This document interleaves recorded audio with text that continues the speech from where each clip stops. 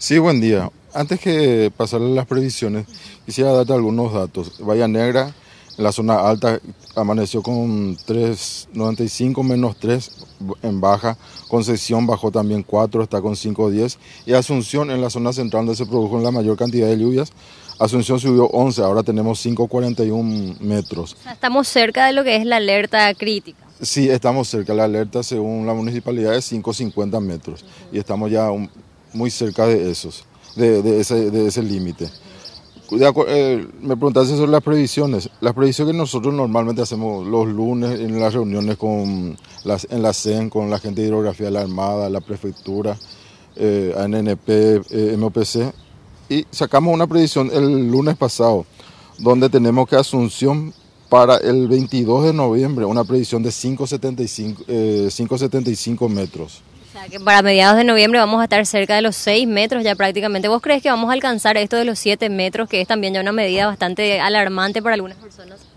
Según las predicciones de lluvias que tenemos, si se presenta un, niño fuerte como el, en el 2015, sí estaríamos con ese con ese valor. Pero el rango de incertidumbre que se le está dando es 50 centímetros para arriba y 50 centímetros para abajo. Estaríamos dentro de ese promedio con el rango de incertidumbre.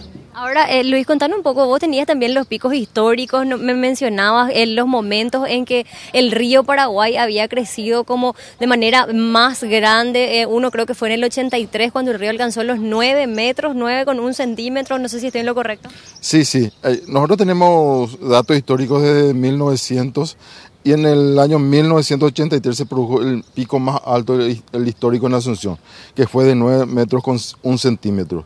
Y en, el mil, en 1905 se tiene un dato de 8,80 centímetros, que son los principales, las principales crecidas que se tuvieron en el, río Paraguay.